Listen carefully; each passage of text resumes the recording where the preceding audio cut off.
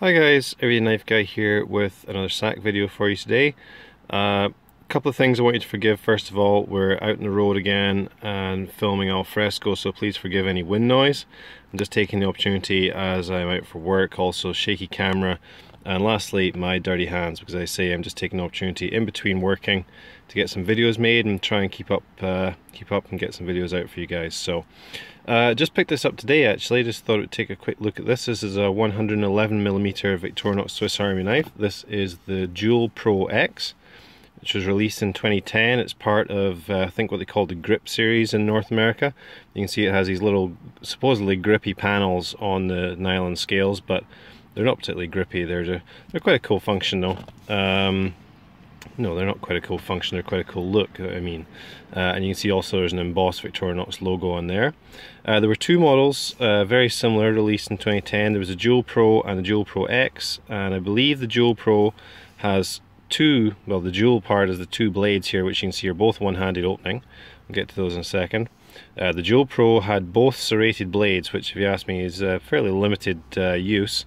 Uh, and it also I think had a corkscrew here. This one has one serrated blade, one plain edge, which I think is a perfect combination, and it also has this proper Phillips um, 3D screwdriver. Now I'm working one-handed here, so bear with me.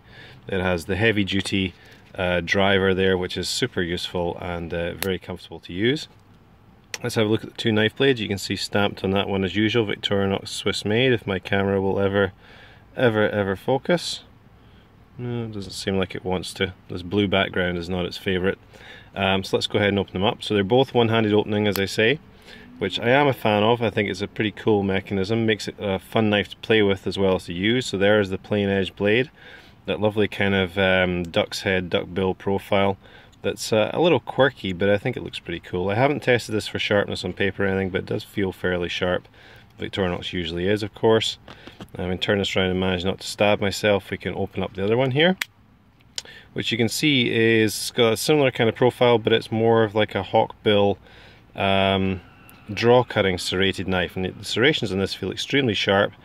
Um, they're just small serrations, they're not uh, elongated or anything, so they are, uh, I think they're similar to, or if not exactly the same um, radius as the ones on my German Army knife one-handed Trekker uh, and it's my, the only other one-handed opener I have from Victorinox at the moment. You'll find a review on that in my Swiss Army knife playlist.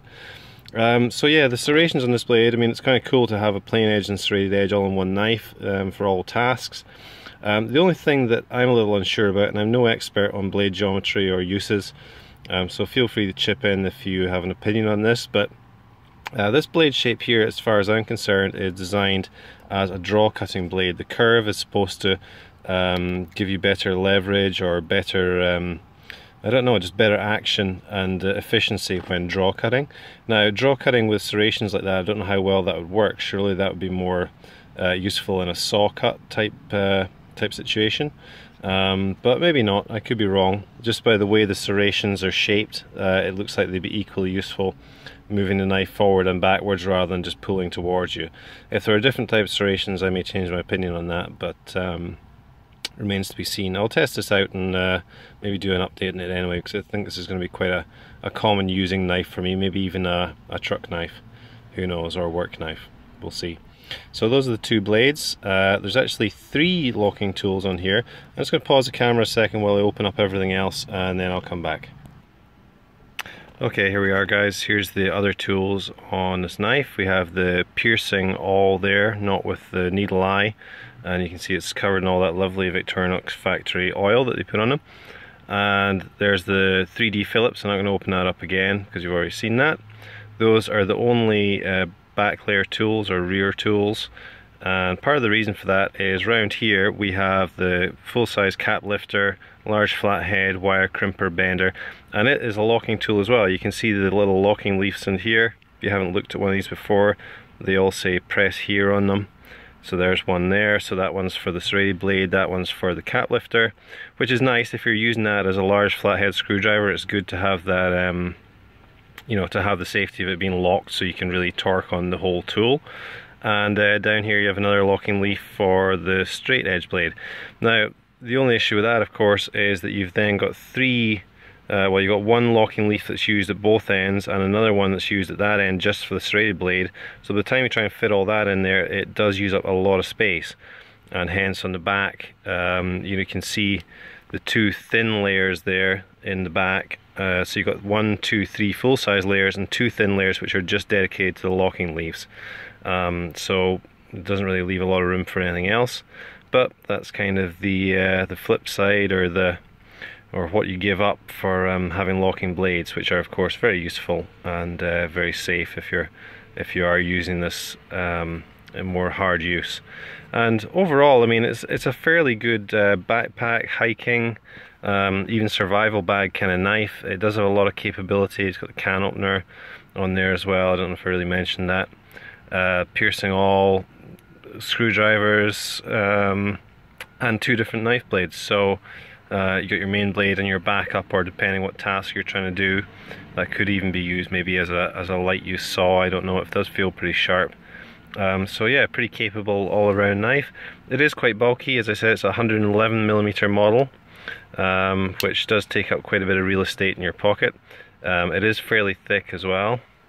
And uh, yeah, I just realized one more thing I was going to comment on before we wrap this up. Let me just close everything up first if I can. It's a little tricky one-handed, but it can be done.